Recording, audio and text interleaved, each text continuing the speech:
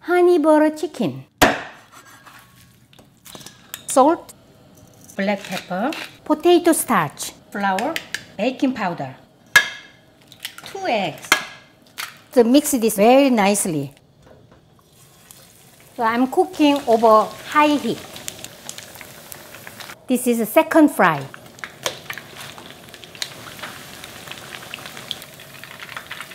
So we need a butter flavor. Garlic. Garlic is a little crispy and fragrant.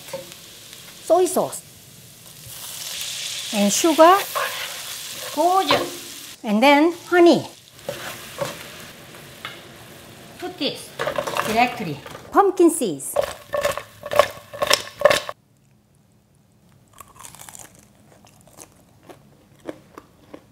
Mmm, sweet, crunchy, buttery